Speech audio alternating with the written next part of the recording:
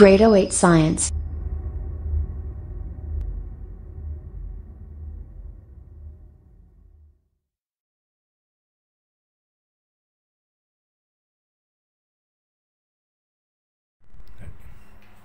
හරි ඔයගලන්ට මේ WhatsApp group එකට ඇවලා තියෙනවා මම ඉස්සෙල්ලාම පුනරීක්ෂණ ප්‍රශ්න දෙකක්. අ, අපි මේ පුනරීක්ෂණ ප්‍රශ්න දෙක කතා කරලා ඊට පස්සේ 13 වෙනි ඒකකයේ ඉතිරි කොටස බලමු. හොඳයි ඉස්සෙල්ලාම අපි පස්වෙනි ප්‍රශ්නය බලමු. ඔයගලන්ට රූප සටහනක් දීලා තියෙනවා. ඒ රූප සටහනේ තියෙන්නේ අ, මේ ශාක තුල සිදුවන ප්‍රධානතම ජෛව ක්‍රියාවලියක් පිළිබඳව තමයි මේ රූප සටහනේ දැක්වෙන්නේ. හරි අපි බලමු මොනවාද අහලා තියෙන්නේ කියන එක. රෝමිලක්කම් 1 ඉහත රූපයේ දැක්වෙන නිෂ්පාදන ක්‍රියාවලියට අදාළ ශක්ති ප්‍රභවය කුමක්ද? එතකොට ඔයගොල්ලෝ මේ ක්‍රියාවලිය මොකක්ද කියලා හඳුනා ගන්න ඕනේ. එතකොට හරිත ශාකවල ශාක පත්‍රය තුල සිදුවන ප්‍රධානතම ජෛව ක්‍රියාවලිය ප්‍රභා සංශ්ලේෂණය. ඒතර ප්‍රභා සංශ්ලේෂණ ක්‍රියාවලිය තමයි මේ රූපසටහනේ නිරූපණය කරලා තියෙන්නේ. ඒතර මේ ආහාර නිෂ්පාදන ක්‍රියාවලියට අදාළ ශක්ති ප්‍රභවය ප්‍රාථමික ශක්තිය විදිහට යොදාගන්නේ හිරු එළිය. හිරු එළිය. ශක්ති ප්‍රභවය හිරු එළිය නැත්නම් සූර්යා කියලා තිබුණත් හරි. ශක්ති ප්‍රභවය සූර්යා. ශක්තිය තමයි හිරු එළිය නැත්නම් සූර්ය ශක්තිය. රෝමිලක්කම් දෙක රූපයේ දැක්වෙන ක්‍රියාවලියට අදාළව වචන සමීකර ක්‍රියාවලියට අදාළව වචන සමීකරණයක් ඉදිරිපත් කර ඇත. මෙහි ඒ සංයෝගය හඳුනාගෙන ලියන්න කියලා කියනවා. එතකොට මේ වචන සමීකරණය අනුව ප්‍රභා සංශ්ලේෂණ ක්‍රියාවලියේ අමුද්‍රව්‍ය නැත්නම් ප්‍රභා සංශ්ලේෂණයේදී අවශ්‍ය ද්‍රව්‍ය මොනවද කියන එක සඳහන් වෙනවා. ඒතර ප්‍රභා සංශ්ලේෂණයේදී ප්‍රධාන අමුද්‍රව්‍ය දෙකක් තියෙනවා. ඒ තමයි කාබන් ඩයොක්සයිඩ් සහ ජලය.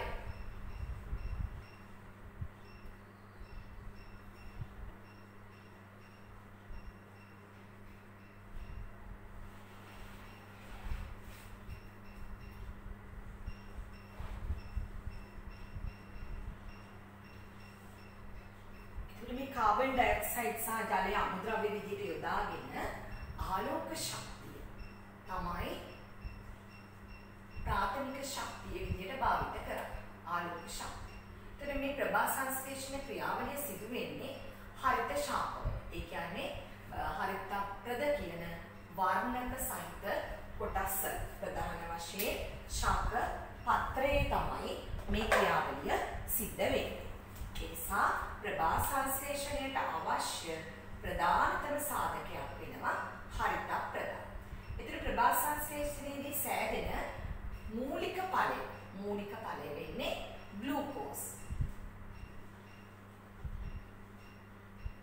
ඊළඟට ග්ලූකෝස් වලට අමතරව නිපද වෙන අනෙක් ඵලය තමයි ඔක්සිජන්. අපි ඒක හඳුන්වනවා අතුරු ඵලය කියලා. ප්‍රභා සංශ්ලේෂණයේ අතුරු ඵලය වෙන්නේ මොනවද? ඔක්සිජන්. මූලික ඵලය වෙන්නේ මොකද්ද? ග්ලූකෝස්. එතකොට මෙතෙන්දී නම් A කියලා දැක්වෙන්නේ මොනවාද? ප්‍රභා සංශ්ලේෂණයේ ප්‍රධාන ඵලය ග්ලූකෝස් තමයි A කියලා හඳුන්වලා තියෙන්නේ. හොඳයි රෝමිලක්කම් 3 අපි බලමු. ඉහත ක්‍රියාවලියේදී පිටවෙන වායුව වායු ගෝලයේ පවතින අනුපාතය කුමක්ද කියලා අහනවා. ඒ කියන්නේ මේ ක්‍රියාවලියේදී අතුරු ඵලයක් විදිහට පිට වෙන්නේ ඔක්සිජන්. ඒතකොට ඔක්සිජන් කොච්චර ප්‍රමාණයක් ආසන්න වශයෙන් වායු ගෝලයේ අඩංගු වෙනවද? ආසන්න වශයෙන් අපි ගන්නෙ 121ක් කියලා. 20.9ක් තියෙනවා. ඒක අපි ආසන්න වශයෙන් 121ක් කියලා ගන්න. 121යි. ඊළඟට මෙතනදී පුතේ මේ ප්‍රශ්නේ රෝමිලක්කම් 3 ඉහත ක්‍රියාවලියේදී පිටවන වායුව වායුගෝලයේ පවතින අනුපාතය නෙමෙයි. ඇත්තට මෙන්න උනේ ප්‍රශ්නය ප්‍රතිශතය කියලා. ඒ අනුපාතය කියන වචනේ එතනට ගැලපෙන්නේ නැහැ.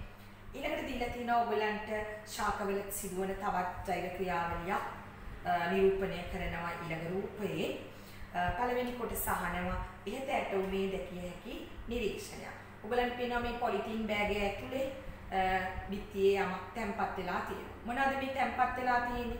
ද්‍රව බිඳු. ද්‍රව බිඳු. ඒකට ජලය කියලා ලියලා තියෙනවා නම් ඒ දෙන්න මොකද අපි ද්‍රව බිඳු පස්සේ අඳුන ගන්න ඕනේ ජලය කියලා. ඒතර ජලය හෝ ද්‍රව බිඳු උත්තරේ දෙකටම දෙන්න පුළුවන්. රෝමිලක්කම් දෙක මෙම ඇටවුම ශාකයක කුමන ජීව ක්‍රියාවලිය ආදර්ශනීය කිරීමට භාවිත කරයි. ඒ කියන්නේ මෙතෙන්දී ඔයගලන් පේනවා මේ මේ පොලිතින් බෑගයට මේ දාලා මේ පොලිතින් බෑගය කියන ආවරණය කළ තියෙන ශාක අත්ත. එතකොට ඒ අත්තේ ද්‍රව බිඳු මේ විදිහට දක්නට ලැබෙනවා. ශාක පත්‍ර වලින් මේ ජලය වාෂ්පාකාරයෙන් පිට වෙන්නේ. ඒ ජල වාෂ්ප තමයි ජල බිඳු බවට පත් වෙන්නේ. එතකොට මේ ශාක එක වායව කොටස් වල ඒ කියන්නේ ප්‍රධාන වශයෙන් පත්‍ර ඊළඟට කඳ වගේ කොටස් වලිනුත් සුළු වශයෙන් යනවා. එතකොට ශාකයක වායව කොටස් වලින් ජලය වාෂ්ප වීම අපි හඳුන්වනවා උත්ස්වේදනය කියලා. උත්ස්වේදනය. එතකොට මේ ආදර්ශනය කරන ක්‍රියාවලිය තමයි උත්ස්වේදනය. උත්ස්වේදනය.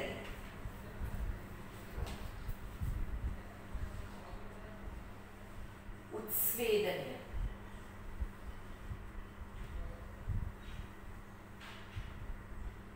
උත්ස්වේදනය.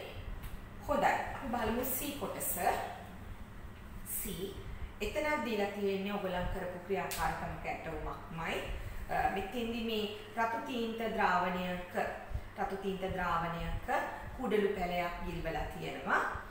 එතකොට අපි ගහනවා පළවෙනි ප්‍රශ්නේ රෝමිලක්කම් 1 ඉහත ඇටෝමේ ඇති කුඩලු පැලය ටික වේලාවකින් රතු පැහැවි. ඒ කියන්නේ කුඩලු පැලේ කඳ තමයි රතු පාට වෙන්නේ ටිකින් ටික ඊට පස්සේ පත්‍ර දක්වා මේ රතු පැහැය පැතිරෙනවා. ශාකයේ රතු පැහැවීමට අදාළ විද්‍යාත්මක සංසිද්ධිය කුමක්ද? එතකොට මේ ශාකයේ රතු පාට වෙන්නේ මේ කඳ දිගේ මේ ජලය නැත්නම් රතු තීන්ත දියවිච්ච ජලය ඉහළට යන නිසා. එතකොට ශාකයකට මේ විදිහට මුල් මගින් මේ උරා ගන්න ජලය සහ ජලයේ දිය වෙලා තියෙන ද්‍රව්‍ය කඳ දිගේ ඉහළට ගමන් කරනවට අපි කියන්නේ රසෝද්ගමනය කියලා. මොකද්ද ක්‍රියාවලිය? රසෝද්ගමනය. එතකොට විද්‍යාත්මක සංසිද්ධිය අහනවා.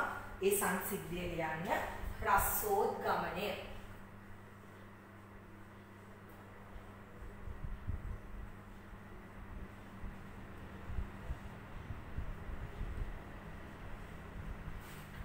රසෝද්ගමනය.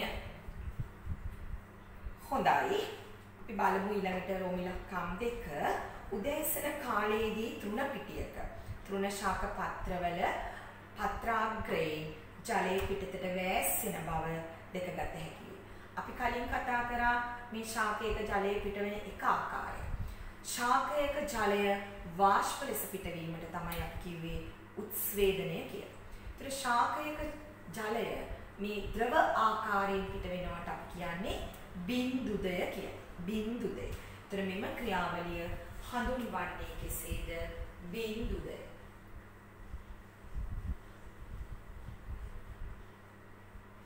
බින්දුදය. හරි. එතකොට දැන් ඔයගොල්ලෝ මේ ප්‍රශ්නය සම්පූර්ණයෙන්ම කළා නම් ඔයාලට මේ ප්‍රශ්නේ පුනරීක්ෂණය වෙන්නේ ඕගොල්ලෝ තුන්වෙනි වාරය ඉගෙන ගත්ත පළවෙනි ඒකකය. ශාක තුල සිදුවන ජෛව ක්‍රියාවලි කියන ඒකකය තමයි සම්පූර්ණයෙන්ම මේ ප්‍රශ්නය තුල ඔයගලන්ට පුනරීක්ෂණය වෙන්නේ. ඒතර ශාක තුල සිදුවන ප්‍රධාන ජෛව ක්‍රියාවලි හතරක් ඕගොල්ලෝ ඉගෙන ගත්තා. මතක් කරගන්න ශාක තුල සිදුවන ප්‍රධාන ජෛව ක්‍රියාවලි හතරක්. මොනවද ඒ? උත්ස්වේද මේ ප්‍රභා සංශ්ලේෂණය, උත්ස්වේදනය, ඊළඟට මේ රසෝද්ගමනය වෙනුවට අපි කිව්වේ ද්‍රව්‍ය පරිවහනය. හරි සමහර විට කෙනෙක් එක ලියා එහෙම ලියන්නත් පුළුවන්. විද්‍යාත්මක සංසිද්ධිය නම් රසෝද්ගමනය වෙන්න ඕනේ. නමුත් මේ කඳ දිගේ ද්‍රව්‍ය ඉහළ යනවට අපි ද්‍රව්‍ය පරිවහනය කියලා ගන්න එපා. පුතේ එතකොට එතන ශාකවල ආහාර ගමන් කිරීමත් ඇතුළත් වෙනවා. නිසා හොඳ හොඳම එක තමයි රසෝද්ගමනය. ඉතින් රසෝද්ගමනය කියලා නෙමෙයි ඕගොල්ලෝ ජෛව ක්‍රියාවල ඉගෙන ගත්තේ ද්‍රව්‍ය පරිවහනය කියලා. ඒත් ද්‍රව්‍ය පරිවහනයේදී ශාකයක ජලය සහ khනිජ ලවණ විතරක් නෙමෙයි ගමන් කරන්නේ. ශාකය තුල ආහාර පරිවහනයකුත් සිද්ධ වෙනවා. ඒතර ද්‍රව්‍ය පරිවහනය කිව්වොත් ආහාර පරිවහනයයි ජලය පරිවහනයයි දෙකම ඇතුළත් දැන් මේ ප්‍රශ්නෙට අදාළව අපි ලියන්න ඕනේ මෙතනදී පෙන්වන්නේ ජලය පරිවහනය පමණයි. ඒ නිසා තමයි අපි රසෝද්ගමනය කියලා ලියන්නේ. ඒක පැහැදිලි වෙන්න ඕනේ. ඊළඟට අනෙක් එක තමයි බිඳුතේ. ශාකයක ජලය ද්‍රවාකාරයෙන් පිටවීම තමයි අපි බිඳුතේ කියලා කියන්නේ. හොඳයි. එහෙනම් අපි ශාක තුල සිදුවන ජෛව ක්‍රියාවලිය තමයි ඒ පුනරීක්ෂණය කළේ. මම ඔයගලන්ට තවත් පුනරීක්ෂණ ප්‍රශ්නයක් දුන්නා. මොකද අද අපිට පාඩමේ බොහොම පොඩි කොටසයි කතා කරන්න තියෙන්නේ. අද අපි 13 වෙනි ඒකකය වැඩ අවසන් කරනවා. ආහාර පරිරක්ෂණය කියන පාඩම.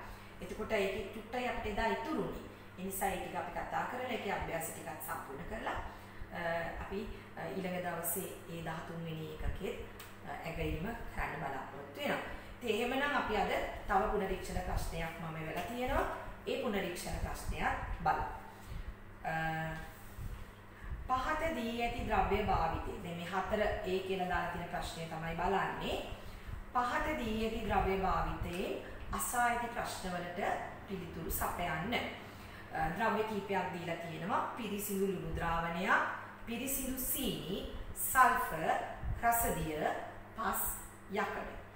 ඉහත රෝමිලක්කම් 1 ඉහත සඳහන් ද්‍රව්‍ය අතරින් මූල ද්‍රව්‍ය දෙකක් නම් කරන්න. ඔගොල්ලෝ සංශුද්ධ ද්‍රව්‍ය කොටස් දෙකකට බෙදුවා මූල ද්‍රව්‍ය සහ සංයෝග කියලා. එතකොට සංඝටක එකකින් පමණක් හැදිලා තියෙන සංශුද්ධ ද්‍රව්‍යයකට තමයි අපි කියන්නේ මූල ද්‍රව්‍යයක් කියලා. සංඝටක එකකින් පමණක් සෑදී ඇති නැත්නම් එකක් පමණක් අඩංගු වන සංශුද්ධ පදාර්ථයක් අපි හඳුන්වනවා මූල ද්‍රව්‍යයක් කියලා. එතකොට මොනවාද මේකේ මූල ද්‍රව්‍ය වෙන්නේ? සල්ෆර්, රසදිය, යකඩ. මූලද්‍රව්‍ය තුනක් තියෙනවා. සල්ෆර් සහ ඔව් සල්ෆර් විතරයි මෙතන අලෝහයක් වෙන්නේ. රසදිය සහ යකඩ දෙකම ලෝහ වෙනවා. හරි ලෝහ වෙනවා. ඒතර ඒ තුනෙන් ඕනම දෙකක් නම් කරන්න පුළුවන්. මූලද්‍රව්‍ය දෙකක් සල්ෆර් රසදිය යකඩ. රොමිලක්කම් දෙක සංශුද්ධ ද්‍රව්‍යයන් දෙකක් නම් කරා. ඒතර සංශුද්ධ ද්‍රව්‍යයන් වෙන්න පුළුවන් එක්ක සංයෝගයක් එහෙම නැත්නම් මූලද්‍රව්‍ය. තුනෙන සංශුද්ධ ද්‍රව්‍ය වලට සල්ෆර්, රසදිය, යකඩ සංයෝගයකුත් තියෙනවා මෙතන. පිරිසිදු C. පිරිසිදු C. ඒතර පිරිසිදු C නිකුවම වෙනත් කිසිම සංඝටකයක් නැහැ. වෙනත් කිසිම අපද්‍රව්‍යයක් නැහැ. එහෙනම් සංඝටක එකයි සීනි වල තියෙන්නේ. ඒ නිසා පිරිසිදු සීනි සංශුද්ධ ද්‍රව්‍යයක් වෙනවා. එනම් පිරිසිදු සීනි, සල්ෆර්, රසදිය, යකඩ. හරි. ප්‍රොමිලක්කම් තුන සංයෝගයක් ලියන්න. එහෙනම් මෙතන සංයෝගයක් වෙන්නේ පිරිසිදු සීනි. පිරිසිදු සීනි. රෝමිලක්කම් 4 මෙහි අඩංගු උෂ්ණත්වමාන ද්‍රවයක් ලෙස භාවිත වන මූලද්‍රව්‍ය. ඒතර ඔයගොල්ලෝ මේවා පුංචි පන්ති වල ඉගෙන ගන්න. උෂ්ණත්වමාන ද්‍රව උෂ්ණත්වමානවල ද්‍රව දෙකක් භාවිත වෙනවා. එකක් තමයි රසදිය අනෙක් එක තමයි මධ්‍යසාර. ඒතකොට රසදිය තමයි උෂ්ණත්වමානවල බහුලවම භාවිත වෙන වඩාත් සුදුසුම ද්‍රවය. මධ්‍යසාර වලට වඩා රසදිය තමයි සුදුසු වෙන්නේ. එකක් රසදිය වලට වර්ණයක් තියෙනවා. ත්‍රිදී පාට වර්ණයක් තියෙනවා. රසදිය වල තාපාංකය 357ක් වෙනවා. එතකොට ඉහළ උෂ්ණත්වම අනින්න පුළුවන්. මේ ඔක්කොම අනුව උෂ්ණත්මානවලට සුදුසුම ද්‍රවය වෙන්නේ රසදිය. බහුලවම භාවිත වන ද්‍රවය වෙන්නේ රසදිය. හරි. ප්‍රොමිලක්කම් පහ ඉහත ද්‍රව්‍ය අතර නොමැති පදාර්ථයේ අවස්ථාව අහන්න. නොමැති පදාර්ථයේ අවස්ථාව. ඕගොල්ලෝ පදාර්ථය අවස්ථා තුනකට බෙදුවා. මොනවද? ඝන, ද්‍රව, වායු. එහෙනම් මේ අවස්ථා තුනෙන් ඝන අවස්ථාව තියෙනවා සල්ෆර් යකඩ ඒ වගේ පස් නේද පිරිසිදු සීනි ඒවා ඊළඟ ද්‍රව අවස්ථාවක් තියෙනවා රසදිය පිරිසිදු ලුණු ද්‍රාවණය ඊළඟට පදාර්ථයේ මෙතන අන්තර්ගත නොවන අවස්ථාව තමයි වායු වායු ඊළඟට 6 දිලීරනාශකයක් ලෙස යොදා ගන්නා ද්‍රව්‍ය දිලීරනාශකයක් විදිහට යොදාගන්නේ සල්ෆර්. අපි සාමාන්‍ය ව්‍යවහාරයේ සල්ෆර් මූලද්‍රව්‍ය හඳුන්වන නම මොකක්ද? සල්ෆර් තමයි අපි හඳුන්වන්නේ ගෙන්දගම් කියලා. ගෙන්දගම්. එතකොට මේ ගෙන්දගම් නැත්තම් සල්ෆර් දිලීරනාශකයක් විදිහට යොදා ගන්න. ආහාර්යතාවය දක්වන ද්‍රව්‍යයක් කියලා. ආහාර්යයි කියලා කියන්නේ මිටියකින් ගැහුවාම තැලෙන සුළු ගුණය. එතකොට තැලෙන්නේ ලෝහ, එහෙනම් ලෝහ මොනවද? යකඩ. යකඩ තමයි මිටියකින් ගැහුවාම තැලෙන්නේ. තැලෙන සුළු ගුණය. ආහාර්ය කියන්නේ ලෝහවල ප්‍රධාන ලක්ෂණය. මූලික ලෝහවල ලක්ෂණ ඔයගොල්ලෝ ඉගෙනගෙන තියෙනවා. මොනවාද? ආ මතු පිට පෘෂ්ඨය ප්‍රභාවක් තියෙනවා. ඊළඟට මිටියකින් ගැහුවාම නැත්තම් බිම වැටුණාම රැව් දෙන හඬක් නගනවා. ඊළඟට විද්‍යුත් සන්නායකයි, තාප සන්නායකයි, ආහන්නයයි, තණ්‍යයි. මෙන්න මේ ಗುಣ ලෝහවල ಗುಣ. හරි. ඊළඟට B කොටස දීලා තියෙන්නේ පදාර්ථය වර්ග කිරීම. පදාර්ථයේ වර්ගීකරණයක් තමයි මේ සටහනේ දක්වන්නේ. පදාර්ථයේ මුලින්ම අපි බෙදන්නේ සංශුද්ධ ද්‍රව්‍ය සහ සංශුද්ධ නොවන ද්‍රව්‍ය කියලා.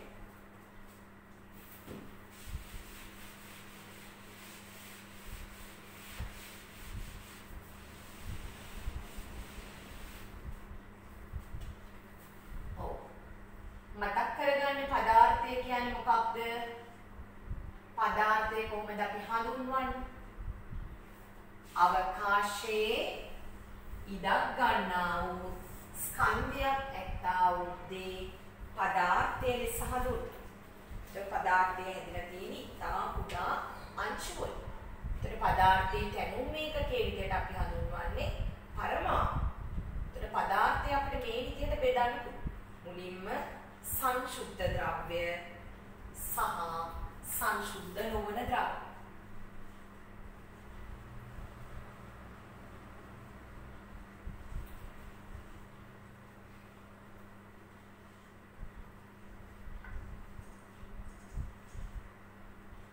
සංශුද්ධ නොවන ද්‍රව්‍ය. සංශුද්ධ ද්‍රව්‍ය නැවත අපි බෙදනවා මූල ද්‍රව්‍ය සහ සංයෝග කියලා. එහෙනම් ඒ වෙන්නේ මොකක්ද? ඒ වෙන්නේ සංයෝග.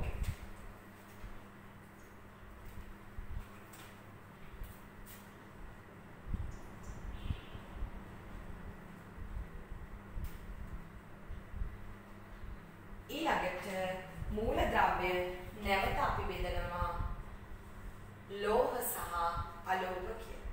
එහෙනම් අලෝහ දීලා තියෙනවා. B වෙන්නේ මොකක්ද? B වෙන්නේ ලෝහ.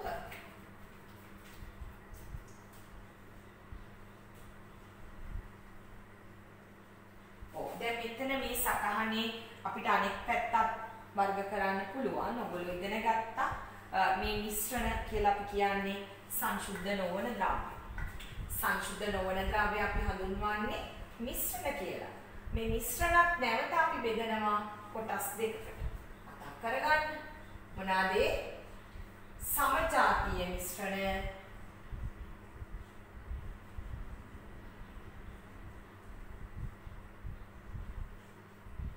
විෂම ජාතීය මිශ්‍රණය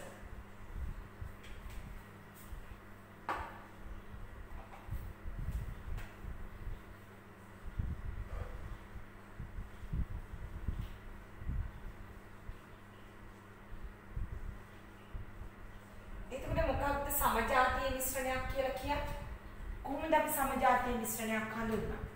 මිශ්‍රණය පුරා ඒකාකාර සංයුතියක් තියෙනවා. නම් ඒ කියන්නේ මිශ්‍රණයේ ඕනම පරිමාවක් ගත්තොත් ඒකේ මේ සංඝටක සමාන ප්‍රමාණ වලින් තියෙනවා නම් අපි කියනවා ඒකාකාර සංයුතියක් තියෙනවා. නැත්නම් නියත සංයුතියක් තියෙනවා. එවැනිම තමයි අපි සමජාතීය මිශ්‍රණයක් කියලා කියන්නේ. එතකොට මේ මිශ්‍රණය පුරා ඝනත්වය, වර්ණය, රසය ඒ වගේ භෞතික ලක්ෂණ සමාන වෙනවා. මිශ්‍රණය පුරාම එකම වර්ණයක් තියෙනවා. කොපර් සල්ෆේට් ද්‍රාවණය ගත්තොත් කොපර් සල්ෆේට් සහ ජලය තමයි අඩංගු සංඝටක වෙන්නේ. එතකොට මේ මුළු ද්‍රාවණයම ඒකාකාර නිල් පැහැයක් තියෙනවා. කොණ්ඩිස් ද්‍රාවණය ගත්තත් ඒකාකාර දම් වර්ණයේ තියෙන. එහෙනම් සමජාතීය මිශ්‍රණ වලට උදාහරණ වෙනවා කොණ්ඩිස් ද්‍රාවණය, ලුණු ද්‍රාවණය, සීනි ද්‍රාවණය, කොපර් සල්ෆේට් නැත්නම් පල්මානික්කම් ද්‍රාවණය නේද? ඊළඟට විනාකිරි, එතනෝල්, කියන්නේ මධ්‍යසාර ද්‍රාවණ මේ ඔක්කොම සමජාතීය මිශ්‍රණ වෙනවා. විෂම ජාතීය මිශ්‍රණයක් කියලා කියන්නේ මිශ්‍රණය පුරා සංයුතිය නියත වෙන්නේ නැහැ. ඒකාකාර සංයුතියක් නැහැ. ඒ කියන්නේ දැන් අපි ගත්තොත් එහෙම කොළ කැඳ. එතන මේ කොළ කැඳ අපි ඒ කියන්නේ කොළ කැඳ ද්‍රාවණය පුරා එක එක ඒ කියන්නේ ඒකේ අඩංගු සංඝටක සමාන ප්‍රමාණ වලින් අඩංගු වෙන්නේ අයිස්ක්‍රීම් ඊළඟට කිරි ටොෆි ඒ වගේ ඒවා විෂම ජාතිය මිශ්‍රණ වෙන. අපි විද්‍යාගාරයේදී ඔය කුණු කුඩු ජලයේ දිය කරාම විෂම ජාතිය. මැටි දිය කළ ජලය විෂම ජාතිය. කහ කුඩු දිය කළ ජලය විෂම ජාතිය. නිල් කුඩු දිය කළ ජලය විෂම ජාතිය. ඊළඟට දූවිලි වලින් පිරුණු වාතය. හරි. ඒ වගේ වාතය අපි ගත්තොත් විෂම ජාතිය. පෙරාගත් වාතය ගත්තොත් සම ජාතිය. මොකද පෙරාගත් වාතයේ ඒ වාතයේ අඩංගු සංඝටක නියත සංයුතියක් තියෙන නිසා. නමුත් පෙරාණුගත් මේ දූවිලි පිරුණු වාතය නියත සංයුතියක් තියෙන්නේ නැහැ. හොඳයි අපි ඒ පුනරීක්ෂණ ප්‍රශ්නයක් ඉවරයි දැන්. අපි කතා කරමින් හිටියේ ආහාර පරිරක්ෂණය කියන ඒකකය. ඒක අපි නතර කරපු තැන ඉඳලා ඉතින් ටික කතා කරලා ඒ පාඩමේ වැඩ අවසන් කරන්න ඕන. හොඳයි. ආහාර පරිරක්ෂණය දැන් මම ඔයගලන්ට සටහන නම් සම්පූර්ණයෙන්ම ගිය සතියේ දැම්මා. ඒක නිසා මේ සතියේ සටහන දාන්න අවශ්‍යතාවයක් තිබුණේ නැහැ. ඔයගලන්ට පුනරීක්ෂණ ප්‍රශ්න දෙක විතරයි මම ගෲප් එකට එව්වේ. ඉතින් දැන් මේ වෙනකොටවත් ඔයගොල්ලෝ ආහාර පරිරක්ෂණය සටහන සම්පූර්ණ වෙලා තියෙනවා. මම එකක් කියන්න ඕනේ ඔයගලන්ගේ මම දකින විදිහට මේ වීඩියෝ බලන එක ටිකක් ඔයගලන්ගේ අඩු උනන්දුවක් තමයි මම දකින්නේ. එහෙම වෙන්න බෑ. හරිද? මම ඔයගලන්ට හැම පැහැදිලි කිරීමක්ම මේ ප්‍රශ්න කතා කරනකොටත් එහෙමයි මේ ඔයගලගේ පාඩම පැහැදිලි කරනකොටත් ඔයගලන්ට පන්තියේ කරනවා වගේම පැහැදිලි කිරීම කරනවා. ළමයි හිටියා නෑ කියලා නැහැ. ඒ පැහැදිලි කිරීම මේ විදිහටම කරනවා. නැවත මේ පාඩම් කිරීමක් වෙන්නේ නෑ. හිතන්න එපා අටේ දැනුම නැතුව නමේ විද්‍යාව කරගන්න පුළුවන් කියන එක. හැම දෙයකම දැන් අපි අදනේ කතා කරේ මේ මේ පදාර්ථය පාඩම මේක 10 පන්තියේදී ආයෙ ඊට වඩා ගොඩාක් විස්තරව කරනවා. 9 දිත් තියෙනවා කොටසක්. ඉතින් මූලික දැනුම තමයි ඕගොල්ලෝ මේ එක එක පන්තියේදී ගන්නෙ O level 10 11 පන්ති වලට අවශ්‍ය මූලික ටික එකතු කරගන්න. මේ ටික හරියට කරගන්න ඕනේ 10 11 ටික හරියට කරගන්න. සමහර අය හිතනවා මේ වාරයට නැති වුණාට කමක් නැහැ. නමුත් මටත් අමාරුයි, ඕගොල්ලන්ටත් අමාරු වෙනවා මූලික දේවල් අත්හැරලා ඊළඟ කොටස් කරන්න යන්න. ඒක නිසා උනන්දු වෙන්න ආයෙ නැවත මේ පාඩම් කිරිල්ලක් වෙන්නේ නැහැ. මම මෙතෙක් කරපු එක වීඩියෝ එකක්වත් ඔයගලගේ අයින් කරලත් නැහැ. නමුත් නැවත පන්ති පටන් ගන්නකොට ඒවා ඔයගොල්ලෝ කොයි විදියකින් හරි පස්සේ හරි.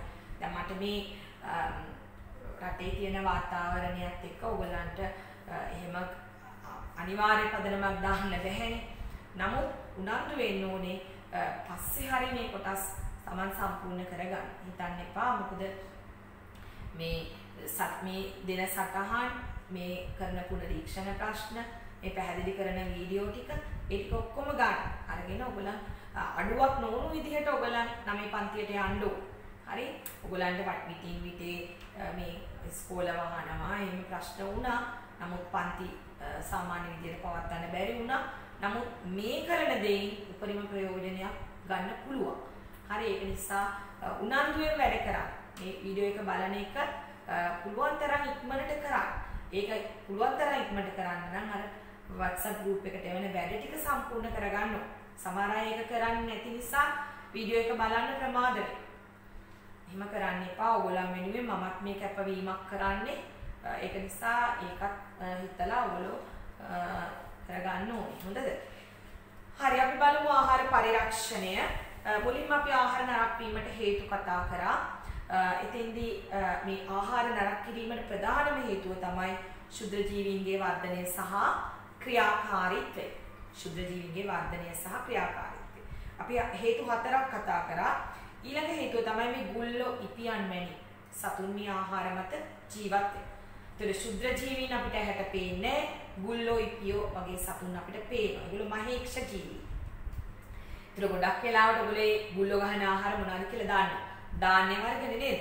මුං ඇට, කඩල, සහල්, පරිප්පු ඒ වගේ ඒවාට තමයි ගුල්ලෝ එන්නේ. ඊළඟට මේ ආහාර ද්‍රව්‍ය සකස් කරනකොට නිවැරදි තාක්ෂණ ක්‍රම අනුගමනය නොකළොත් ඒ ආහාරත් නරක වීමකට ලක් වෙනවා. ඉතින් අපි දන්නවා අස්සන් මේ ආහාර ද්‍රව්‍ය අපි අස්සනු නෙලපු තැන ඉඳලා මේ පරිභෝජනය කරන තැන දක්වා පැමිණෙනකොට ඒ ආහාරවලට විවිධ දේ කියන්නේ හානි වෙන්න පුළුවන්.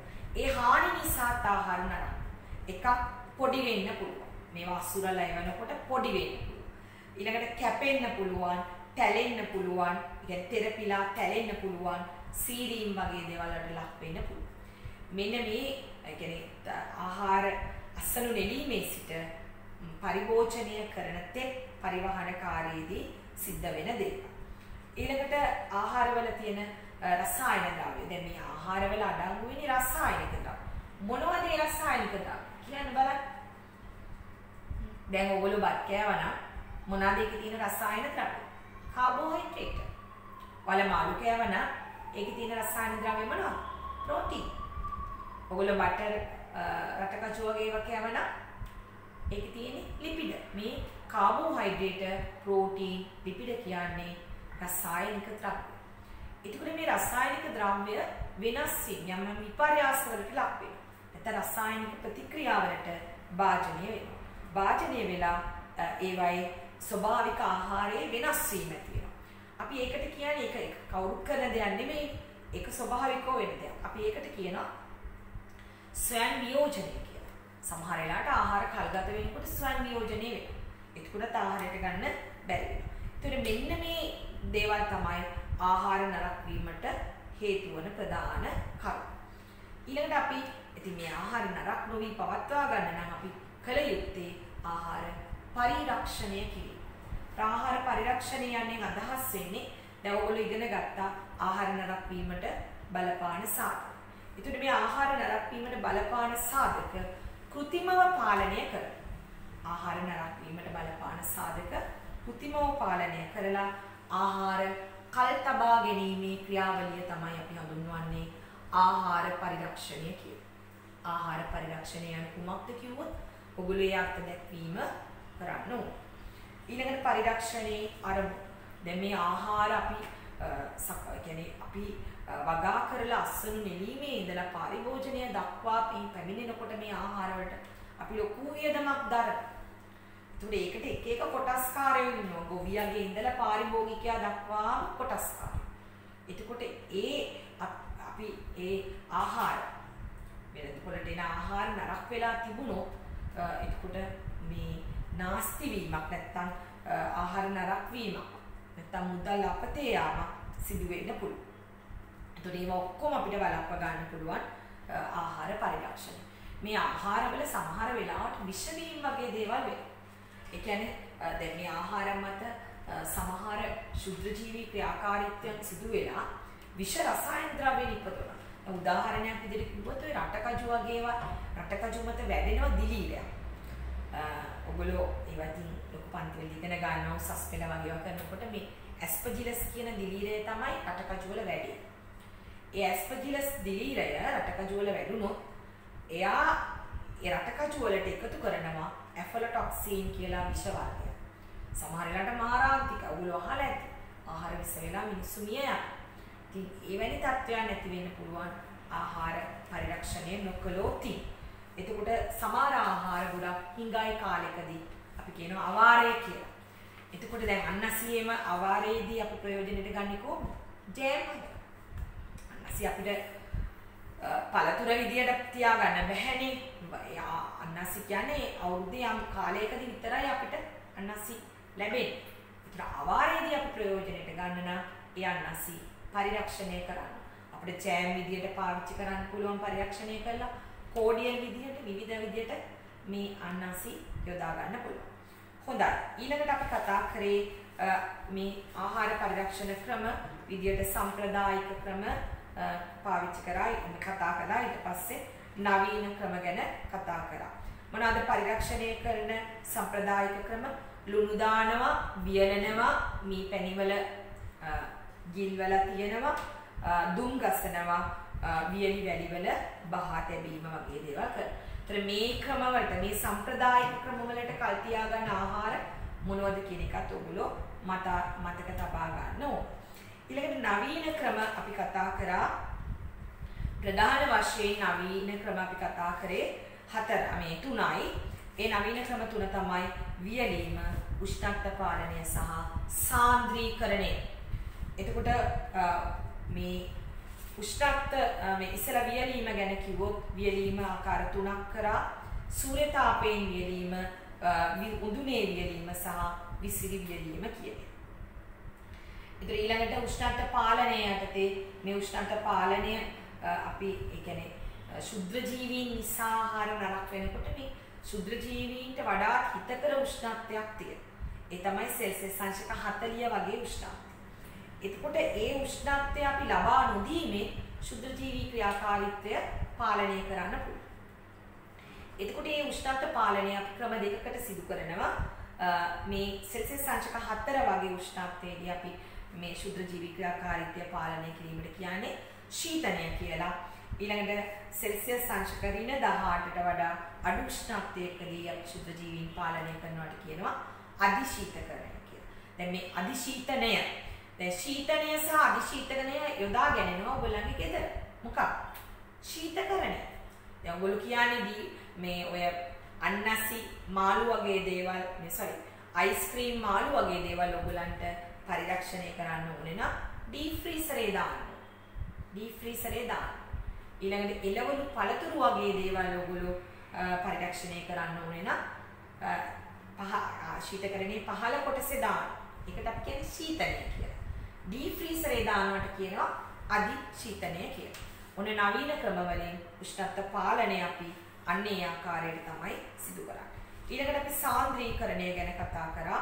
එතෙන්දි බෝතල් කිරීම, ටින් කිරීම වගේ දේවල් තමයි කතා කරන්නේ. මේ ආහාර වල තෙතමනයක් තියෙනවා. ඒත් ශුද්ධ ජීවීන්ට හිතකර සාධක විදියට ඔගොල්ලෝ කලින් ඉගෙන ගත්තා. කලින් ඉගෙන ගත්තේ මොන පාඩමද? හ්ම් පළවෙනි වාරේ ශුද්ධ ජීවීන්ගේ වැදගත්කම කියලා පාඩමක් කරන්නේ නේද? ආ ඒකෙදි ඔයගොල්ලෝ ඉගෙන ගත්ත ශුද්ධ ජීවීන්ට පැවැත්මට නැත්තම් හිතකර සාධක මොනවද කියන්නේ? ප්‍රධාන සාධක විදියට උෂ්ණත්වය, ජලය නේද? වාතය, ඊළඟට මේ උපස්තරය ඒගොල්ලෝ ජීවත් වෙන පරිසරය ඒ වගේව බලපාන. එහෙමනම් අපිට ජලය නැත්තම් තෙතමනය පාලනය කිරීමෙන් ඒ කියන්නේ ඉවත් කිරීමෙන් අපිට පුළුවන් ශුද්ධ ජීවී පාලනය කරන්න. එතකොට ඒ සඳහා තමයි ජෑම් කෝඩියල් සෑදීම වගේ ක්‍රම. ඉතින් ජෑම් කෝඩියල් හදනවා කියන්නේ ටින් කරනවා බෝතල් වල අසුරන එක තමයි කරන්නේ. එතකොට ඔයගලන්ට ඊළඟට මේ එක් එක් ක්‍රමයට මේ අපි ආහාර පරිරක්ෂණය කරනකොට ශුද්ධ ජීවී ක්‍රියාකාරීත්වය නැති වෙන්නේ නැත්නම් ආහාර කල් තබා ගැනීමට හේතු වෙන්නේ මොනවද කියන කාරණය ඔගොල්ලෝ සටහන් කරලා තියෙනවා. ඊළඟට පැස්ටරීකරණය ගැන කතා කරා. මේ පැස්ටරීකරණයේදී අපි ආහාර කල් තබා ගන්න ආකාර. අවස්ථා තුනක්. දියර කිරි, කිරි පැකට්, කල් කිරි. ඒතර ඒවා එක එක තත්වයන් තමයි අපි ලබා දෙන්නේ. දියර කිරි නම් 72 උෂ්ණත්වයේ තත්පර 15යි. සති දෙකක් ශීතකරණයේ තියාගන්න පුළුවන්. දියර කිරි සති දෙකක් ශීතකරණයේ තියාගන්නේ 72ක උෂ්ණත්වයේ තත්පර 15ක් ජීවාණුහරණය කිරීම. ඊළඟට කිරි පැකට් ගත්තොත් 138ක උෂ්ණත්වයේ තත්පර 1ක් 2ක් අතර කාලයක් තියාගන්නේ මාස දෙකක් හෝ තුනක් අතර කාලයක් ශීතකරණයක තබාගෙන පාවිච්චි කරන්න පුළුවන්. ඊළඟ කල් කිරි වලට අපි කියනවා ජීවාණුහරණය කළ කිරි කියලා. මේ ශුද්ධ ජීවීන් හින්දානේ කිරි නරක වෙන්නේ. මේ කිරි කියන්නේ පුතේ ඉක්මනටම නරක වෙන ආහාර. ඔයගොල්ලෝ දන්නවා අපි උදේ හදපු කිරි එකක් හැන්දෑවේ ගත්තාම ගඳයි. නේද? ඒ කියන්නේ හරි ඉක්මනට නරක වෙනවා. මේ ශුද්ධ ජීවී හොඳින් වර්ධනය වෙන ශුද්ධ ජීවී ක්‍රියාකාරීත්වය හොඳට සිදුවන ආහාර තමයි කිරි කියලා කියන්නේ. ඒතර ශුද්ධ ජීවීන් විතරක් නෙමෙයි මේ ආහාරයේ ඉන්නේ. ශුද්ධ ජීවීන් ඒගොල්ලන්ගේ මේ බීජාණු ඒගොල්ලෝ ප්‍රජනනය කරන අවදි ඔක්කොම තියෙනවා. ඒතර ඒ සියල්ලක්ම විනාශ වෙනවට අපි කියන්නේ ජීවාණු හරණය කියලා. ජීවාණු හරණය. එතකොට මේ කල්කිරි වලින් කරන්නේ කල්කිරි හදලා තියෙන්නේ ජීවාණු හරණය කර. එහෙනම් ගොඩාක් කල් තියාගන්න පුළුවන් කිරි වර්ගය තමයි කල්කිරි. ඒතකොට 120ක උෂ්ණත්වයේ මිනිත්තු 15ත් 20ත් අතර කාලයක් තබලා තමයි ජීවාණු හරණය කරන්නේ. බොහෝ කාලයක් තියාගන්න පුළුවන් කල්කිරි. ඔයගොල්ලෝ කිරි හලවල් වල දැකලා ඇති. එළියේ රාක්කවල තමයි කල්කිරි බෝතල්, වීදුරු බෝතල් වල දාලා තියෙන්නේ. කල්කිරි බෝතල් අසුරලා තියෙන්නේ. ඒ කියන්නේ ශීතකරණයක් අවශ්‍ය නැතුව බොහෝ කාලයක් තියාගන්න පුළුවන් විදිහට තමයි කල්කිරි පරිරක්ෂණය කරලා තියෙන්නේ. තේරුණාද? හරි. ඊළඟට ආහාර පරිරක්ෂක ද්‍රව්‍ය ගැන අපි කතා කරා. ඒතර ආහාර පරිරක්ෂණයේදී ඇසුරුම් කරන ලද ආහාර ද්‍රව්‍යයට එකතු කරන ඕනම ද්‍රව්‍යයකට අපි කියනවා ආකලන ද්‍රව්‍යයක් කියලා. ඒ කියන්නේ පරිරක්ෂණයේදී එකතු කරන විවිධ ද්‍රව්‍ය. විවිධ අරමුණු විවිධ අවශ්‍යතා සඳහා එකතු කරනවා මේ ආහාරවලට ද්‍රව්‍ය. එතකොට අපි බැලුවොත් එහෙම මේ උකුබව ඇති කරන්න අපි පෙක්ටින් කියන රසායන ද්‍රව්‍යයක් රසකාරක විදියට ග්ලූකෝස් සැකරීනු ප්‍රතිඔක්සිකාරක විදියට සිට්‍රික් අම්ලය සහ කැරොටිනු පරිරක්ෂක ද්‍රව්‍ය විදියට මෙටා සෝඩියම් මෙටා බයිසල්ෆයිඩ් එතකොට මෙන්න මේ පරිරක්ෂක ද්‍රව්‍ය දානවා පුතේ ඔය මාළු වගේ ඔය කීල්ස් කාගීල්ස් වගේ සුපර් මාකට් වල ඔගොල්ලෝ දැකලා ඇති මාළු වල ලස්සන රතු පාටක් ඒ රතු වර්ණය ඇති කරන්නේ මේ සෝඩියම් මෙටාබයිසල්ෆයිඩ්. අධික පිළිකාකාරක ද්‍රව්‍යයක්. හොඳට මතක තියාගන්න. ඊළඟට බෙන්සොයික් අම්ලයක් පරීක්ෂක ද්‍රව්‍යයක් වෙනවා. ආහාර වර්ණක විදියට රයිබෝෆ්ලේවින් සහ කැරොටින් භාවිත වෙනවා. ඔය සමහර ආහාරවල තියෙන තැමිලි පැහැය. නේද? ඔය මස්කට් බූන්දි ඒ වගේ දේවල් මිල්ක් ටොෆි වර්ග, පොල් ටොෆි වර්ග වලට පාට එන්න දානවා. රයිබෝෆ්ලේවින් සහ කැරොටින් එතකොට මේවත් පරිරක්ෂක ද්‍රව්‍ය වෙනවා. එතකොට ඒවා අපි දාන්නේ වර්ණය ඇති කරන්න. හරි ඒක නිසා අපි ආහාර වර්ණක කියලා කියනවා. හොඳයි. එතකොට පරිරක්ෂකයක් කියන්නේ මොකක්ද කියන එක කියලා තියෙනවා ආහාර කල්තබා ගන්නකොට ආහාර කල්තබා නරක් වීමට හේතු වන ශුද්‍රජීවී ක්‍රියාකාරීත්වයන් හා අනිකුත් බාහිර අභ්‍යන්තර සාධක වල ක්‍රියාකාරීත්වයන් වැළැක්වීමට යොදන රසායන ද්‍රව්‍යයක් තමයි පරිරක්ෂකයක් කියන්නේ. ආහාර පරිරක්ෂණය කියන්නේ එකක්. ආහාර පරිරක්ෂක කියන්නේ ද්‍රව්‍ය. හරිද? ආහාර පරිරක්ෂණය කියන්නේ ක්‍රියාවලිය. හොඳයි. ඉතින් ඒගොල්ලන්ට ඊ අංකය හඳුන්වලා දීලා තියෙනවා. මේකත් හඳුන්වන්න පුළුවන් වෙන්න ඕනේ. કૃතිම ආහාර පරිරක්ෂක ලෙස ආහාරයට එකතු කරන කිරීමට අනුමැතිය ලද ද්‍රව්‍ය සංකේතවත් කිරීමට යුරෝපා සංගමය විසින් යොදා ගන්න කේත ක්‍රමයක්. ඒක අංකයක් එන්නේ. ඊ අංකය කියලා අපි කියනවා. ඒතර ඊ අංක ඊ 200ත් 299ත් අතර සංඛ්‍යාවක් තියෙනවා. ඒතර ඔයගලන්ට උදාහරණ දීලා තියෙනවා මේවට ඊ අංක තියෙනවා. ආහාර වලට එකතු කරන අනුමත ඊ අංක තියෙනවා. ඒතර ඒ අංක බලලා ගන්න. දැන් ඔයගලන්ට මේ දීලා තියෙන්නේ 200යි 299 අතර ඊ අංක තියෙන ඒවා ආහාරයක ගැනීමට සුදුසු ආහාර කියන පරිරක්ෂක තමයි එකතු කරලා තියෙන්නේ. ඒ පරිරක්ෂක වලට දීලා තියෙන කේත ක්‍රමයක් තමයි ඊ අංකය කියලා කියන්නේ. හොඳයි අපි එතනට වෙනකන් තමයි ඉදා කතා කරේ. මම අද ගොඩාක් වෙලාව ගත්තා. මොකද ගිය සතියේ පාඩම නොගත්ත කෙනෙක් කරේ ඉන්නවනම් නැවත මතක් කිරීමක් තමයි කරේ. මොකද අද පාඩම ඉවර කරන නිසා. හොඳයි. ඊළඟට අපිට තියෙන්නේ පරිරක්ෂක ද්‍රව්‍ය පොඩි වර්ග කිරීමක් කරලා තියෙනවා මේ ආහාරයට ගන්න ආකාරයක්. ඒතකොට සමහර ආහාර අපිට ඍජුවම ආහාරයට ගන්න පුළුවන්. කිසිම පිළියෙල කිරීමක් අවශ්‍ය නැහැ. කෙලින්ම කන්න පුළුවන්. මොනවාද? චට්නි, ජෑම්, සෝස්, පළතුරු බී. කෙලින්ම ආහාරයට ගන්න පුළුවන්. නෑ. ඒ කියන්නේ නැවත පිසින්න නැත්නම් නැවත සකස් කර ගැනීමක් අවශ්‍ය වෙන්නේ නැහැ. ඊළඟට ශනිකව සකස් කර ගන්න පුළුවන් ඒවා තියෙනවා. මීට් බෝල්ස් නේද? විනාඩියෙන් දෙකකින් හදා ගන්න පුළුවන්. සොසේජස් නූඩල්ස්, මැකරෝනි, පිටිකල පොල් කිරි කෝඩිය. ඉතින් මේවා මේවා තමයි ඉතින් ගොඩක් අය භාවිත කරන්නේ නේද? ලේසියට පහසුවට ඉක්මනට කරගන්න නේද? පොල් ගෙඩියක් ගාලා මිල්ක ගන්නට වඩා මැගි පොල් මේ පිටිකල පොල් කිරි හැන්දක් දැම්ම වතුර ටිකක් දැම්ම දී ඒක රවිනාඩියෙන් පොල් කිරි. අපි පොල් කිරි හදාගන්න කොච්චර වෙලාවක් යනවද නේද? ඒ එහෙම අවශ්‍ය මේ කියන්නේ අපිට කාලය ඉතුරු කරගන්න මේ විදිහට ගන්න පුළුවන්. නමුත් ඉතින් මේ හැමදේම මතක තියාගන්න රසායන ද්‍රව්‍ය. ආහාරයට එකතු කරලා තියෙන රසායන ද්‍රව්‍ය වැඩි වෙන්න වැඩි වෙන්න අපේ දේහයට ශරීරගත වෙන විස ප්‍රමාණය විවස විස කියලා කියන්නේ. ස්වභාවික නැවුම් එළවලුවක් පළතුරුවක් පළතුරක් පලා වර්ගයක් ආහාරයට ගන්නවා වගේ නෙමෙයි මේ ආහාර ගන්න. මේවා ඔක්කොම රසායන ද්‍රව්‍ය. ඉතින් මේ රසායන ද්‍රව්‍ය සමහර වෙලාවට අපේ ශරීරයේ මේ සෛල වෙනස් වීම වලට භාජනය කරන්න පුළුවන්. ඒකයි අපි කියන්නේ පිළිකා තත්ත්වයන් වලට හේතු වෙනවා. මේ કૃතිම ආහාර ගන්න සමහර අය නිකන් ෆැෂනබල්ලි මේ මේ සමහර කෑම ඒවා නැතුවම බැරි අයත් ඉන්නවා. නමුත් මේවා එච්චර හොඳ නැහැ. ඊළඟට පරිභෝජනයේ පෙර පිසිය යුතු ඒවා. එතන අපි කරවලනේ අපිට අම්මේ කන්න බෑනේ. අපි ඒක ආහාරය හදා ගන්න ඕන. ධාන්‍ය වර්ගත් එහෙමයි පරිරක්ෂණය කරලා තියෙන්නේ. හැබැයි පිළියෙල කරලා ආහාරයට ගන්න ඕන. ෂණිකව පිළියෙල කරලා ගන්න ඕනේවත් තියෙ පුළුවන්. ඒ වගේම කෙලින්ම ආහාරයට ගන්න පුළුවන් ඒවත්.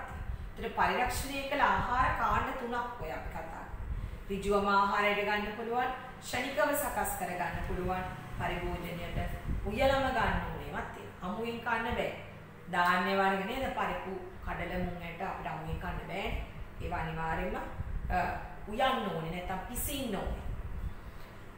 හොඳයි. ඊළඟ ඊළඟට ඔයගලන්ට දීලා තියෙන මේ පරිරක්ෂණයේ වාසි සහ අවාසි. හරි මේ ටික මම කතා කරන්න යන්නේ නැහැ. කතා මම හිතනවා ඒක ඔයගලන්ට කියව ගන්න පුළුවන් කියන එක. හොඳයි. ඉතින් නිකන් අපි බලමුකෝ මොනක් තියෙන්නේ කියලා. ආහාර නරක් වීම වළක්වා ගැනීම. ඔයගොල්ලෝ දැන් පැහැදිලි වෙන්න ඕනේ. පරිරක්ෂණය නොකළොත් ඉක්මනට නරක වෙනවනේ. ඊළඟට ආහාරවල විවිධත්වය නිසා රුචිකත්වය අනුව තෝරා ගන්න. ඒ කියන්නේ ඔයගොල්ලෝ සමහර අය කැමති ඒ ආහාර දේවේ තියෙන රස යම් යම් ද්‍රව්‍ය එකතු කරලා තියෙන නිසා ආකලන ද්‍රව්‍ය ආකලන ද්‍රව්‍ය සමහර ඒවා රසය ඇති කරනවා නේද? ඒ වගේම වර්ණය ඒ වගේ එක එක ඒ ආහාරය අපි කැමති ಗುಣ ඇති කරන නිසා රුචිකත්වය අනුව තෝරගන්න පුළුවන්. ආකර්ශනීය පෙනුම සමහර වෙලාවට එහෙම ආකර්ශනීය පෙනුමක් ලැබෙනවා. ඇතැම් ආහාරවල ස්වરૂපය වෙනස් කිරීමෙන් පෝෂ්‍ය ගුණය ඉහළ නැන්වීමට හැකි වෙනවා. ඒ කියන්නේ යෝගට්, චීස්, කිරි වගේ ආහාරවලට ඒ වගේ තත්ත්වයන් ලැබෙනවා. කෘමීන් සහ වෙනත් සතුන්ගෙන් සිදුවන හානි අවම කරගෙන. ඔන්න වාසි. ඒතර අවාසි විදියට දීලා තියෙනවා මේ ආකලන ද්‍රව්‍ය එකතු කිරීමෙන් රෝගාබාධ ඇති වෙනවා. විශේෂයෙන් අපි මේ ආහාර ගත්තාම මේවා අපේ ආහාරය කියන්නේ ජීර්ණය වෙලා මේවා අපේ සෛල තුල එකතු වෙනවා. එකතු වෙලා මේ සෛල වර්ධනයේදී සෛල මේ බෙදෙනකොට විභාජනයේදී වෙනස් වීම වලට ලක් වෙන පුළුවන්. පිළිකා තත්ත්වයන් තමයි ගොඩක් වෙලාට ඇති වෙන්නේ. දීලා තියෙනවා. ඒ වගේම දිය වැඩියාම දැන් සමහර වෙලාවට මේ සීනි වැඩිපුර එකතු කරන අවස්ථා තියෙනවා. සීනි කියන්නේ තාකලන ද්‍රව්‍ය. සැකරින් කියන්නේ ගොල්ලෝ අහලාදී සමහර අය කියන අපෝ ඇට දිලනවා, පිළිකා හැදෙනවා, සීනි දිය වැඩියාව හැදෙනවා. ඒකට ඒ වගේ තත්ත්ව ඇති වෙන්න පුළුවන්. ඒ වගේම ළමයි මේ ආහාරයේ ආවේනික සුවඳ රස වර්ණය වෙනස් වෙන්න පුළුවන්. ස්වභාවික ආහාරයක් ගන්න දැන් අපි නැවුම් අඹ ගෙඩියක් කනවට වඩා අඹ වලින් හදපු ෆෘට් ජූස් එකක් බිව්වා. ඒක රසය වෙනසක් තියෙනවා.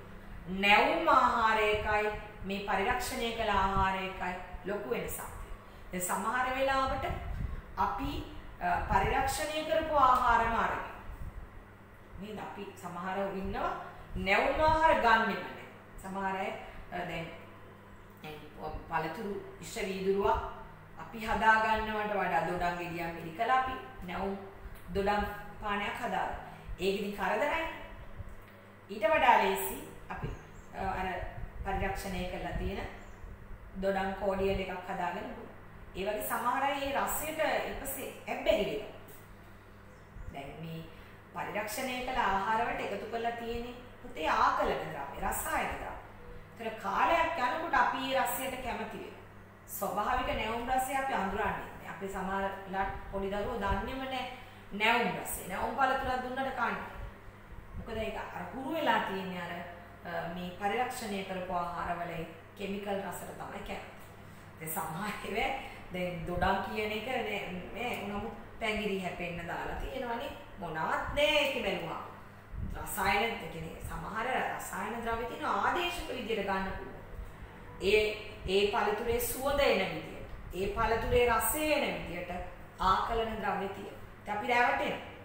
නමුත් ස්වභාවික නැවුම් පළතුරක් ගත්තොත් ඊට වඩා වෙනස් වෙනවා. ඒතර ශනික ආහාර පරිභෝජනයට හුරු වෙනකොට අර අනෙක් ආහාර වලට තියෙන රුචිකත්වය අඩු වෙන්න පටන් ගන්නවා. ඒ වගේ දේවල් වෙනවා. ඊළඟට ආහාර ඇසුරුම් ලේබල් එක අඩංගු තොරතුරු. මෙන්න මේක ඉතින් ඔයගොල්ලන් ක්ලාස් එකේදී මම පොඩි පැවරුමක් විදියට කරන්න තියෙන්නේ. ඔයගොල්ලෝ ලේබල් පහක්වත් හොයාගන්න ඕන.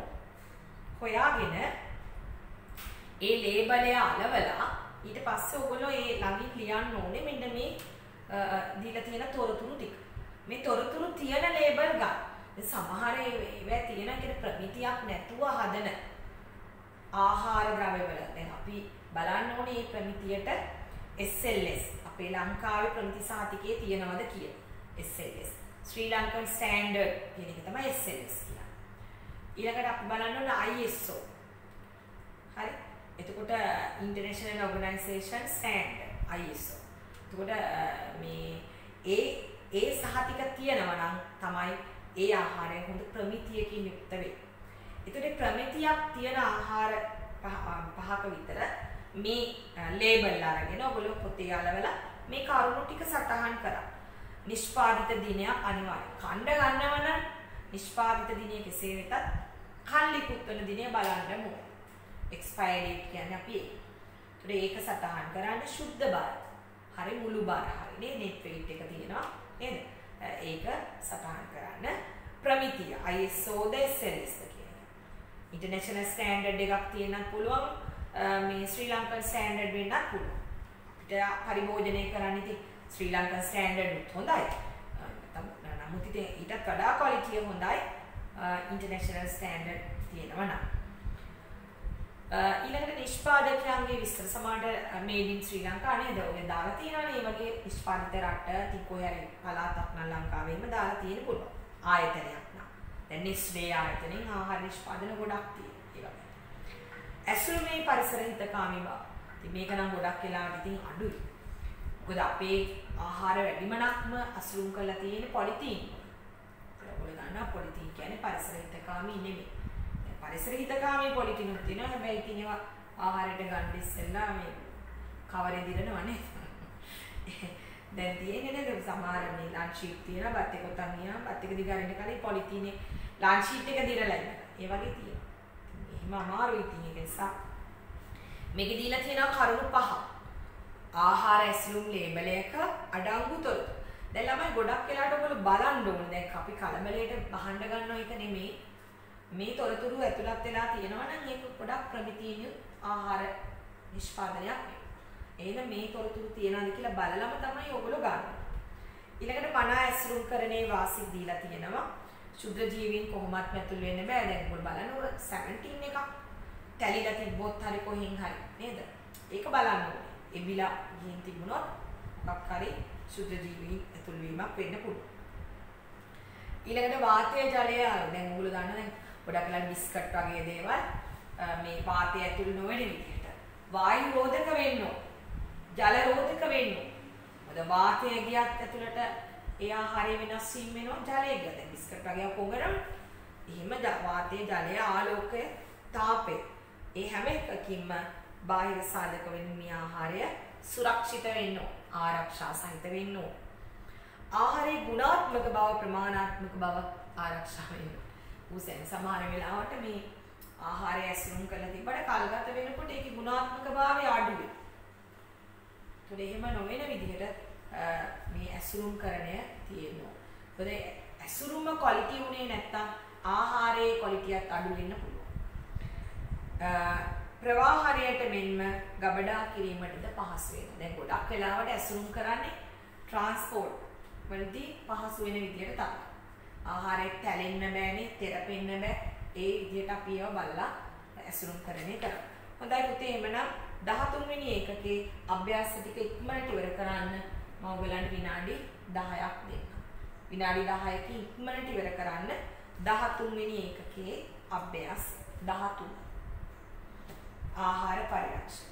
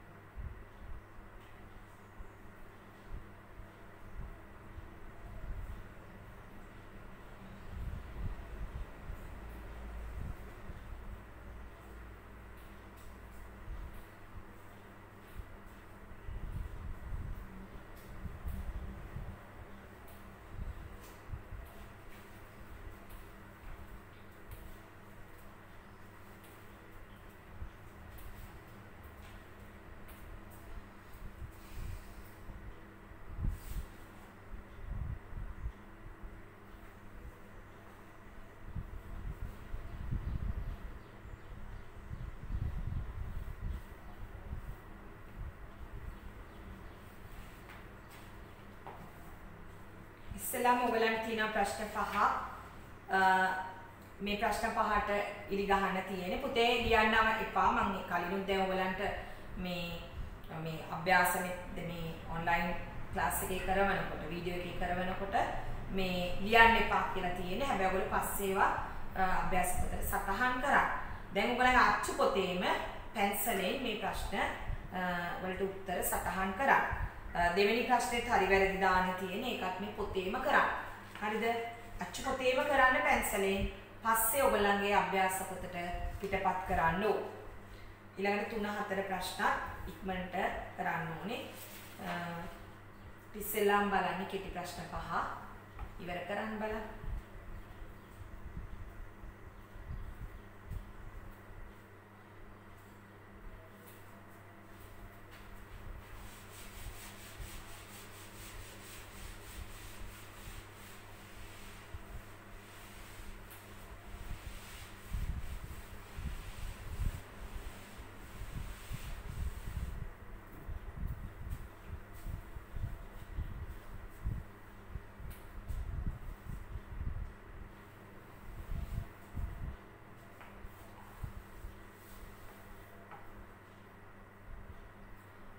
අපි බලමු කෙටි ප්‍රශ්න පහ ඉස්සෙල්ලාම. පහත දැක්වෙන ක්‍රම අතරින් ආහාර පරිරක්ෂණය කිරීමේ නවීන ක්‍රමයක් වන්නේ ලුණු දැමීම, දුම් ගැසීම, ශීතනය, මී පැණිවල බහා තැබීම. ඕගොල්ලෝ ඉගෙන ගත්ත නවීන ක්‍රම තුනක්. ඒ තමයි මේ උෂ්ණත්ව පාලනය. උෂ්ණත්ව පාලනයේදී යොදා ගන්න එක ක්‍රමයක් තමයි ශීතනය. එහෙනම් තුන්වෙනි එක තමයි නවීන ක්‍රමය. ශීතලය. උෂ්ණත්ව පාලනය ක්‍රම දෙකකට ඉගෙන ගත්තනේ ශීතනය සහ අධිශීතනය. ශීතනයේදී සෙල්සියස් අංශක 4ක උෂ්ණත්වය අධිශීතනයේදී ඍණ 18ටත් වඩා අඩු උෂ්ණත්වය. ප්‍රොමිලක්කම් දෙක ආහාරයකට ආකලන ද්‍රව්‍ය එකතු කිරීමේ අරමුණු කීපයක් පහත දැක්වේ. ආහාරයට රසය කිරීම, ආහාරයේ උකු ස්වභාවයෙන් පවත්වා ගැනීම, ආහාරයේ ඔක්සිජන් සමග ප්‍රතික්‍රියා කිරීම වැළැක්වීම. එතකොට මින් නිවැරදි පිළිතුර වන්නේ මොකක්ද කියලා අහනවා. රස එක් කරන්නත් කුසභාවය පවත්ව ගන්නත් ආහාරයේ ඔක්සිජන් සමග ප්‍රතික්‍රියා කිරීම වැළැක්වීම. ප්‍රතිඔක්සික් කාරක කියලා කියන්නේ ඒ සඳහා එකතු කරන ද්‍රව්‍ය. එහෙනම් මේකේ නිවැරදි පිළිතුර තමයි A B C. රස එකතු කරන්න අපි ග්ලූකෝස් සැකරෙන් දානවා. උකුභාවය පවත්ව ගන්න අපි පෙක්ටින් එකතු කරනවා ප්‍රතිඔක්සිකාරක විදියටත් අපි බෙන්සොයික් ආම්ලය වගේ ඒවා පාවිච්චි කරන්න පුළුවන්. ඊළඟට පිරිසැකසුම් ආහාරයකට උදාහරණයකි. ඒතර මොකක්ද මේ ඔයගොල්ලෝ ආහාර වර්ග කරනකොට මේ සමහර ආහාර පිරිසැකසුම් කරනවා කියන එක ඉගෙන ගත්තා. මොකද්ද පිරිසැකසුම් කිරීමක් කියලා කියන්නේ? ඒ කියන්නේ අපි එතෙන්දි මේ ආහාර වර්ගය දැන් පරිරක්ෂණය කරපු ආහාරනේ අපි ගන්නෙ නේද? මේ පරිරක්ෂිත ආහාර කියන්නේ කියන්නේ ශ්‍රණිකව සකස් කරගන්න අපිට පුළුවන් අය මීට් බෝල්ස් වගේ ඒවා සොසේජස් වගේ ඒවා අපිට ඉක්මනින් හදා ගන්න. ශ්‍රණිකව සකස් කරගන්න පුළුවන් ඒවා තමයි පිරිසකසුම් කළ ආහාර කියලා කියන්නේ. මීට් බෝල්ස්, සොසේජස්, සාමනල්, නූඩල්ස්, මැකරෝනි ඒ වගේ ආහාර. පිරිසැකසුම් කර ආහාර විදියට අපි ගන්නවා. හොඳයි එතකොට ඒකෙදි අපෙන් අහන්නේ උදාහරණයක් නේද? දැන් අපිට චට්නි ජෑම් පළතුරු බීම. කෙලින්ම අපිට ආහාරයට ගන්න පුළුවන්. නමුත් පොල් කිරි වගේ ඒවා අපි හදාගන්න එපේ.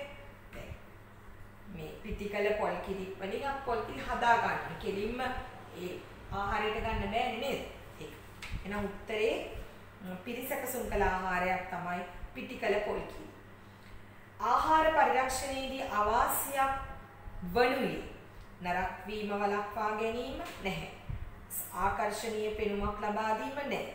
ඇතැම් ආහාරවල පෝෂ්‍ය ගුණය වැඩි කිරීම ඔව් ඒ කියන්නේ වැඩි කරනවා ඒකට අවාසියක් වෙන්නේ නැහැ. ස්වභාවික ආහාර වලට ඇති රුචිකත්වය අඩු වී යා. ඒක අඩු වෙනවා. සමහර අය හුරු වෙනව නැත්නම් ඇබ්බැහි වෙනවා ඒ කෘතිම රසයට. ඒක. ඉක්මනින් නරක් නොවන ආහාරයකි මොකක්ද? ඉක්මනින් නරක් නොවනේ වියලි මුං ඇට. ජලය අඩු ඒවා තමයි ඉක්මනින් නරක් නොවෙන්නේ. ජලය අඩුම වෙන්නේ වියලි මුං ඇට. හරි. හරි වැද්දානික ඉක්මනට කරා.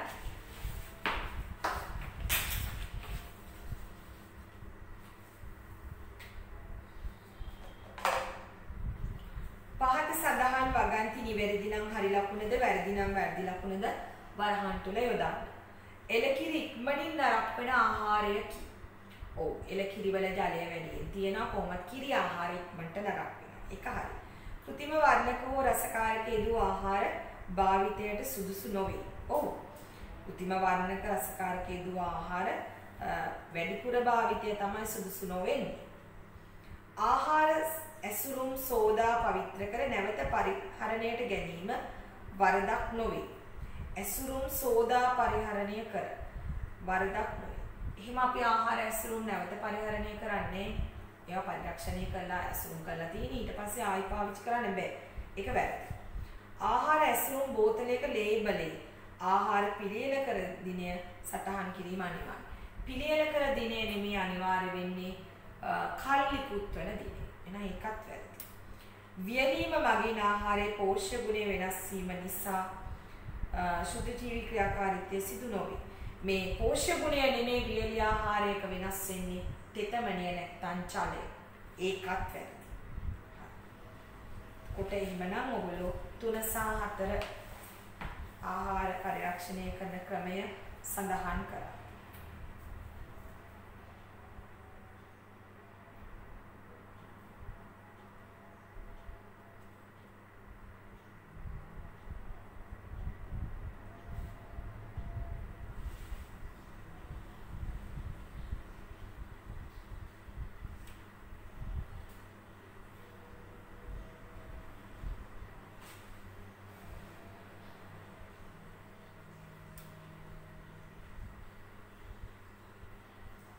පහත සඳහන් එක් එක් ආහාර ද්‍රව්‍ය පරිරක්ෂණය කළ ඇති ක්‍රමය.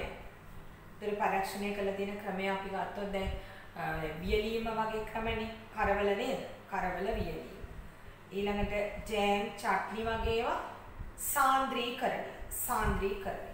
එතකොට කල්කිරි පැස්ටරීකරණය. කල්කිරි පැස්ටරීකරණය. කරවල වියලීම. ජලය අඩු කරන එකනේ කරන්නේ. චට්නි ජෑම් සාන්ද්‍රීකරණය. කල්කිරි පැස්ටරීකරණය. පහත සදාන ආහාර පරිරක්ෂණ ක්‍රමවලදී ආහාරය නරක් නොවී පැවතීමට හේතු වෙන වෙනම සඳහන් කරා. දැන් වියලීමේදී ජලය ඉවත් වීම නිසා ශුද්ධජීවී ක්‍රියාකාරීත්වය ශුද්ධජීවීන්ගේ වර්ධනය සිදු නොවීම තමයි වියලීමෙන් ආහාර පරිරක්ෂණය වීමට හේතු. නරක් නොවී තිබීමට හේතු. ශීතකරණයේ තැබීමෙන් මොකක්ද? උෂ්ණත්වය හිතකර උෂ්ණත්වය ශුද්ධ ජීවීන්ට නොලැබීමෙන් ශුද්ධ ජීවීන්ගේ වර්ධනය පාලනය වේ. ලුණු දැමීමෙන් සාන්ද්‍රීකරණය නිසා මේ ශුද්ධ ජීවී ක්‍රියාකාරීත්වය අඩුවීමක් වෙනවා. කියන්නේ ජලය ඉවත් වෙනවා සාන්ද්‍රීකරණය මගින්. ඊළඟ දුම් ගැසීමේදී සිද්ධ වෙන්නේ ආහාරයේ අඩංගු කියන්නේ sorry දුම්වල අඩංගු රසායන ද්‍රව්‍ය නිසා දුම්වල අඩංගු රසායන ද්‍රව්‍ය නිසා ශුද්ධ ජීවී ක්‍රියාකාරීත්වය අවම කිරීම තමයි සිද්ධ වෙන්නේ. හොඳයි අපි අවසන් කරේ 13 වෙනි ඒකකය. 13 වෙනි ඒකකයේ මේ අභ්‍යාස ටික තමයි කතා කරේ. ඉතින් පුතේ දැන් මේ අභ්‍යාස ටික මම ඔයගලන්ට කියලා දුන්නේ මේකේ අඩුපාඩු දැන් ඔයගොල්ලෝ ඉක්මනට සටහන් කරගන්න ඇති. මේ අභ්‍යාස ටික සම්පූර්ණ කළා ඔයගලන්ගේ අභ්‍යාස පොතේ ලියන්න ඕනේ. පිටපත් කරන්න ඕනේ. හරිද? එතකොට ඔයගොල්ලන් ඒ 13 වෙනි එකකේ වැඩත් අවසන් වෙනවා. සටහන සම්පූර්ණ කරගන්න, අභ්‍යාස ටික සම්පූර්ණ කරගන්න. ඊළඟ දවසේ ඔයගොල්ලන්ට තියෙන්නේ 13 වෙනි ඒකකයේ ඇගීම 14 වෙනි ඒකකේ ඒකකයක් තමයි අපිට කතා කරන්න තියෙන්නේ. ඒත් 14 වෙනි ඒකකයේ සටහන මම එවන්නම් 13 වෙනි ඒකකයේ ඇගීමත් එක්ක. හරි. එතකොට මේ විදිහට මේ දෙන වැඩ පිළිවෙලට කරන්න. එතකොට තමයි ඔයගොල්ලන්ට අවශ්‍ය කරන දැනුමත් එක්ක ළමයට යන්න පුළුවන්. හොඳට මතක තියාගන්න කොහොමත් ඕගොල්ලෝ ළමයට යනවා. මේ අවශ්‍ය කරන දැනුමත් එක්ක තමයි ළමයට යන්න ඕනේ. මේ කොටස් අයින් කරලා ඕගොල්ලන්ට ඊළඟ පන්තිවලදී බෑ. ඒ ඒ දැනුමත් එක්ක තමයි යන්න ඕනේ නැත්නම් අපහසුයි. අපිට අමාරුයි ඒ O level පන්ති වල වැඩ කරන්න ඕගලන්ටත් අමාරුයි. හොඳයි අපි එන ඉතින් නවත්ත.